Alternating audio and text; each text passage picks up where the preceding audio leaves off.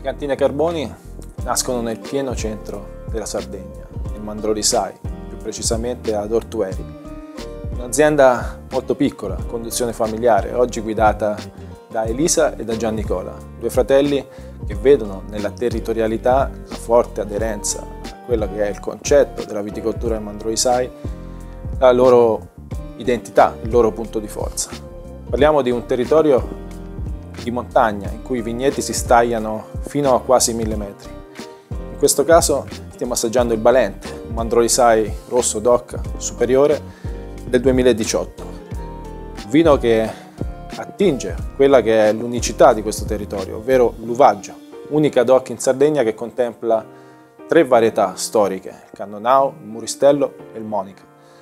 Vino che affina due anni in barrique e che proviene da vigneti intorno ai 700 metri di altitudine, con una grande esposizione al sole. Esposizione, irradiamento che percepiamo al naso grazie a questi sentori di frutta matura, ma non appassita, sottobosco, frutta sotto spirito e macchia mediterranea. sorso è di grande ampiezza, avvolgenza e consistenza, ma con una buona tensione acida. Il tannino è ben definito, cesellato e un sorso molto profondo.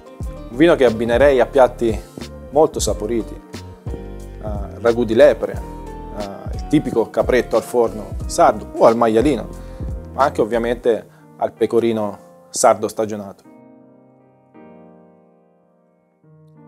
Un grande rosso di un grande territorio che amo particolarmente, che sa coniugare struttura, acidità a una grande aderenza identitaria e territoriale.